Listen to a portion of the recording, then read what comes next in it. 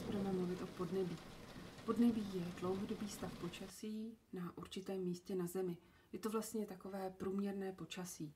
Například v Rožnově, kdybyste sledovali počasí 50 let, každý den byste si zaznamenávali, jaká je teplota, jaký je vítr, jaký je tlak, kolik je srážek, tak byste získali takovou průměrnou představu o tom, jak to počasí se neustále mění, jak, jak to počasí se vyvíjí. A právě tady tohleto zprůměrované nebo dlouho pozorované počasí se nazývá podnebí. Takže to dlouhodobý stav počasí na určitém území. No a tím pádem, kdybychom vzali Rožnov, tak pro ten by platil tenhle ten obrázek. Naše podnebí znamená, že se střídá jaro, léto, podzim a zima. Jaro, teploty se zvyšují, srážky, roztává sníh, léto, bouřky, vysoké teploty, podzim, teploty se snižují a zima, nízké teploty a srážky sněhové. Takže takhle tak se vyvíjí uh, počasí během roku a tím pádem získáváme představu o tom, jak vypadá naše podnebí. Takže tohle je popis podnebí. Je to prostě dlouhodobé počasí na určitém území. Na Zemi rozlišujeme tři základní podnebné pásy podle toho, jak to podnebí vypadá a mezi nimi jsou ještě pásy přechodné. Já jsem tohle ofotila ze školního atlasu dnešního světa, který máme ve škole, ale doma ho nemáte, tak ať se na to můžete podívat. Ty základní pásy jsou tropický, to je to, co je tady zhruba růžově, potom je to mírný, to, co je tady zeleně, a potom je to takový fialový, který tady úplně není vidět, ale je hodně dobře vidět tady dole na Antarktidě. A to je pás polární, takže tropický, mírný a polární pás. Mezi nimi se nacházejí pásy přechodné, tady tenhle ten žlutý je pás subtropický a tady tenhle ten světle fialový je pás subpolární. Co má vliv na podnebí, na ty podnebné pásy?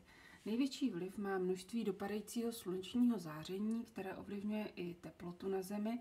Takže tady vidíte, eh, kde jsou na Zemi teploty nejvyšší, kde jsou teploty nižší. Tady tu máte vysvětlivky, jaká je průměrná roční teplota v tom určitém místě. No a vidíte, že nejvíce slunečního záření nebo nejvyšší teploty dopadají v oblasti kolem rovníku. Je to jako úplně největší množství slunečního záření dopadá vždycky tam, kde to slunce je kolmo nad hlavou. To znamená, že bychom neměli žádný stín. My už víme, že u nás na, na 50. stupni zeměpisné šířky takové místo není. Že slunce se pohybuje maximálně mezi obratníkem raka a obratníkem kozoroha Tady si musíte připomenout, nebo zkuste si vzpomenout, jak jsme mluvili o oběhu Země kolem Slunce, kdy jsme si říkali, že v tuhle tu chvíli díky sklonu zemské osy je přikloněná severní polokoule. Vidíte, že sluneční paprsky dopadají kolmo na obratník raka, takže tady sem dopadá největší množství slunečního záření. Jak se Země pohybuje do podzimní polohy, tak vlastně to sluneční záření dopadá čím dál víc jižněji, až to, co tady nevidíme, 23. září sluneční záření dopadá kolmu na rovník. Tady je podobná situace 21. března, kdy vidíte, že to sluneční záření dopadá kolmo na rovník. To jsou dny rovnodennosti. A potom tady tohle je opačná poloha, kdy je přikloněná jižní polokoule, sluneční paprsky dopadají kolmo na obratník kozoroha, tady tohle to máme rovník, takže tady je obratník kozoroha, sluneční paprsky dopadají kolmo na obratník kozoroha a největší množství slunečního záření dopadá právě na obratník kozoroha. No a protože slunce se nám uh, pohybuje vlastně celoročně takhle mezi obratníkem raka a obratníkem kozoroha, uh, to znamená, že 21.6. obratník raka, 23.9. rovník, 21.12. obratník kozoroha, 21.3. zase zpátky na rovník a takhle pořád to slunce pohybuje, každý den o kousíček se posune k jihu nebo severu, tak tady tato oblast mezi obratníky, tam dopadá největší množství slunečního záření. A čím více vzdalujeme od obratníku na sever, tím toho slunečního záření je méně. Výsledkem je teda tady tahle ta mapa, kdy nejvyšší teploty jsou mezi obratníky, zejména teda oblast rovníků, kde jsou ty teploty úplně nejvyšší a nejnižší teploty jsou na polech, tedy nastává jev, který se nazývá polární den a polární noc. to je možná vidět tady na tom obrázku. Připomeňte si, že v tuhle tu chvíli, když jste tady v tomhle místě, no, když jste tady v tomhle místě, když jste tady, tak vlastně i když se slunce, i když se země otočí kolem své osy, tak celou dobu neuvidíte slunce, je tady polární noc v této oblasti. Naproti tomu v této oblasti vám slunce nezapadne, protože když jste tady a země se takhle otočí kolem své osy, tak pořád to slunce vidíte. Takže tady v, polární, v polárních oblastech vlastně máme půl roku noc a důsledkem je eh, to, že je tam velké chladno. Další významný vliv na podnebí má uh, moře, má oceán, protože uh, blízkost oceánu většinou snižuje rozdíly teplot mezi létem a zimou. Ten oceán pohlcuje tu letní teplotu a v zimě ji zase uvolňuje, takže to jako kdyby snižuje rozdíly teplot na pevnině. Nejsou tak vysoké letní teploty a tak nízké zimní teploty. A v blízkosti oceánu jsou většinou vyšší srážky než ve větší vzdálenosti od oceánu. To je vidět například tady na východě Ameriky. Vidíte, že tady jsou vyšší srážky, než jsou uvnitř Ameriky. Nebo v Ázii vidíte, že na pobřeží jsou vyšší srážky, než jsou v centru Ázie. Nebo v Evropě na pobřeží jsou vyšší srážky, než jsou uh, v té východní Evropě.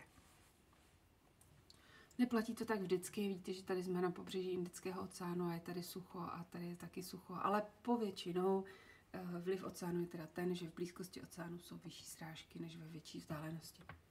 Další, kdo ovlivňuje podnebí, jsou oceánské proudy. My jsme o nich ještě nemluvili, protože o nich budeme mluvit v hydrosféře, ale mořské proudy přenášejí teplou vodu, právě tu teplou vodu od rovníku nebo obratníku přinášejí do polárních oblastí a neopak chladnou vodu z polárních oblastí přinášejí do rovníků, kde se zase ohřívá. Takže zvyšují teplotu na severu, snižují teplotu na jihu, to znamená, že takhle jako hodně ovlivňují mořské proudy teplotu, ještě o nich budeme mluvit. Dělí se teda na teplé a studené, ty teplé tady máme červeně a studené tady máme modře. A velmi významný pro nás je golfský proud, pro Evropu je velmi zásadní golfský proud. Vidíte, že funguje jako takový radiátor, který ohřívá celé tady tohleto západní, severozápadní pobřeží Evropy. Další významný vliv na podnebí má nadmořská výška, protože už jsme si říkali u počasí, že teplota s výškou klesá o 0,6 stupně každých 100 metrů. A takže tady mám horu Kilimanjaro, která leží téměř úplně na rovníku. A přestože leží na rovníku a vidíte, že jsou tady sloně, tady opravdu velmi teplo, tak vy, když vystoupáte do té výšky, Kilimanjaro má téměř 6000 metrů, tak tam už nahoře se nachází sníh, protože když každých 100 metrů klesne teplota o 0,6 stupňů, tak tady nahoře už se dostáváme pod bod mrazu a jsou tady ledovce. Takže velmi velký význam má nadmořská výška nebo vůbec terén. No a v současné době se čím dál víc mluví o vlivu člověka, tím, jak jsme si povídali o tom, jak člověk mění atmosféru, jestli si vzpomínáte.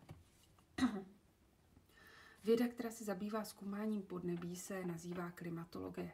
No a my se teď podíváme na ty jednotlivé podnebné pásy. Takže první eh, podnebný pás je pás tropický, já vám to nejdřív ukážu na mapě. A, takže podnebný pás je pás tropický, to je ten, který je tady růžový, a ten ještě podle množství srážek si můžeme rozdělit na rovníkový, to je tady tenhle ten úplně tmavě růžový, potom je to střídavě vlhký, to je tady tenhle ten středně růžový, a potom je to suchý, to je ten úplně světlé růžový. Potom jsou to ty subtropy, tahle ta oblast třeba tam, kde jezdíte na dovolenou, Itálie, Španělsko, oblast středozemního moře, to jsou subtropy. Potom tady máme mírný pás. Mírný pás, to už víme, to je tady u nás, protože tady někde je Česká republika, tady máme Prahu. Tady se u nás střídají čtyřroční období, takže typické pro mírný pás je střídání čtyřročních období, na rozdíl od tropického pásu, kde je, vel, kde je velmi teplo celoročně, kde to není nějak jako rozlišené. Mm, a podle srážek v blízkosti oceánu je vlhčí klima, kterému říkáme oceánské, to je tady tohleto tmavé. A dále od oceánu je tady tohleto světlé, kterému říkáme kontinentální. Tam je právě málo srážek a jsou tam velké rozdíly mezi létem a zimou. Léta jsou teplá a zimy jsou velmi chladné. Další oblast je subpolární, to je severní část Kanady, eh, nebo i severní část Evropy, nebo tady tahle ta, eh, tady vlastně už bychom dali i sem, tady tohle to všechno je subpolární pás, severní část Ruska.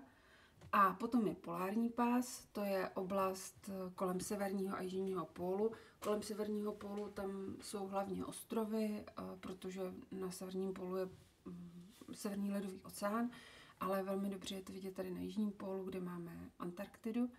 A, a Antarktida je teda zástupce polárního pásu. Jsou tady samozřejmě velmi nízké teploty, velmi nízké srážky, pokud tady jsou srážky, tak jsou sněhové a už jsem říkala, že se tady střídá polární den a polární noc. No a teďka se podíváme, jak ty jednotlivé oblasti vypadají, protože to bude asi jednodušší na představu. Takže tady tohleto je ten vlhký rovníkový pás, tropický pás, takže vlhký rovníkový tropický pás, velké množství srážek, vidíte tropické deštné lesy. Tohle to jsou ty střídavě vlhké, střídavě vlhký tropický pás, to znamená, že se tady střídá období sucha, období dešťů a jsou tady savany, kde můžeme vidět třeba ty nosorožce, zebry, žirafy, lvy. Tohle to je ten třetí tropický pás, to je ten suchý tropický pás, kde je velmi málo srážek a nacházejí se tam pouště. Tady tohle to jsou subtropy, například teda Chorvatsko, to je ta krajina, kde jezdíme na dovolenou. A dostáváme se do mírného pásu, tohle byste měli poznat. Takhle to vypadá v Anglii. V Anglii je to vlhké oceánské klima, to znamená, že tady rostou lesy, listnaté lesy například, závisí ještě na teplotě, takže vlhké oceánské klima. A tohle to je ten suchý, ten kontinentální mírný pás, kde je těch málo srážek, takže tady vznikají pouště, třeba tady na rozhraní Číny a Mongolska poušť Koby takže kontinentální mírný pás. Tohle to je subpolární pás, vidíte, že jsou tady nějaké eh, jehličnaté stromy, spíš už začínají jenom nějaké sem tam stromy, keře, břízy, odolné stromy, takže to je subpolární pás. No a tady tohle už je polární pás, eh, to znamená velmi nízké teploty. Srážky jsou teda poměrně nízké a polární den a noc. No a poslední věc, eh, klima určité oblasti můžeme charakterizovat pomocí klimadiagramu. Já jsem vám tady vybrala klimadiagramy, zástupce klimadiagramu každé té oblasti. Takže tady je město Tefe v Brazílii, a je to zástupce toho rovníkového tropického pásu, takže tohle všechno je tropický pás. A tohle je ten rovníkový, ten vlhký, kde každý den prší. A vidíte, že ty srážky jsou vysoké 2,5 tisíce mm, takže vysoké srážky a teploty velmi stále. Jo? Tam a celý rok teploty jsou průměrně 25 stupňů. Ať je leden, nebo prosinec, nebo červen, tak pořád jsou teploty přibližně 25 stupňů. A tady tohle máme ten střídavě vlhký tropický pás. Vidíte, tady vidět to střídavě vlhký, tady žádné srážky, tady jsou srážky velké a tady zase žádné srážky, takže tady máme období sucha, tady máme období dešťů, tohle je teda Tanzánie. A teplota pořád zůstává přibližně stejná, takže mezi 20-25 stupni celoročně. Jo, celý rok je tam buď 20 nebo mezi 20-25 stupni Celsia. No a poslední pás, který tady máme, ten tropický, tak je ten tropický suchý, to je poušť Sahara, Vádí Halfa je eh, v Sudánu, na hranici Sudánu a Egypta. Vidíte, že srážky tady nejsou žádné, možná tady nějaká malinká kapička, takže min, minimum srážek. A, a teplota pořád sice jako více kolísá, než tady vidíme v té Brazílii, ale pořád se držíme s těmi 20-30 zhruba stupni Celsia.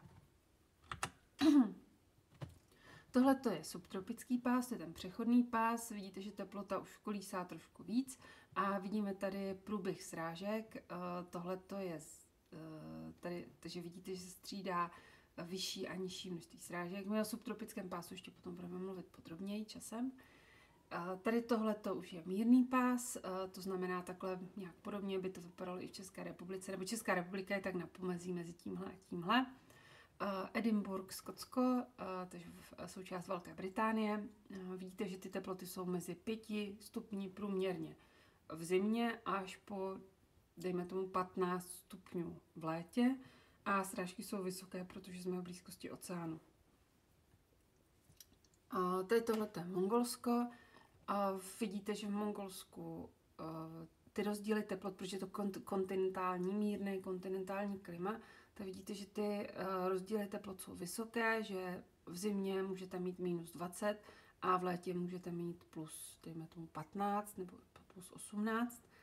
Takže takhle tak kolísají teploty a srážek je taky méně, když srovnáme Edinburgh máme 668 mm, tady v tom Ulambátoru je to 217 mm, takže tím, jak se vzdalujeme od oceánu, tak ubývají srážky. Ale tohle to pořád oboje dvoje je teda mírný pás.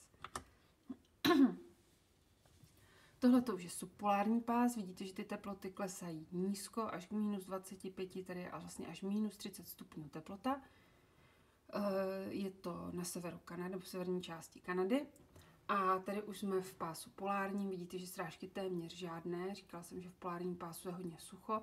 No a ty teploty jsou tak nízké, že se nám ani nevejdou do grafu maximální teploty eh, v lednu, protože jsme na jižní polokouli, stanice Vostok je v blízkosti jižního pólu, a, takže jsme na jižní polokouli, to znamená, že nejvyšší teploty jsou tady v eh, prosinci, v lednu, tak maximální teploty dosahují minus 30 stupňů. Takže si představte, že vaše maximální teploty, to, to, to, jak máme teď, tak to by bylo extrémní horko. Jo? Když máme teďka minus 10, tak to by bylo extrémní horko, protože tady ty nejvyšší teploty dosahují teda minus 30 stupňů.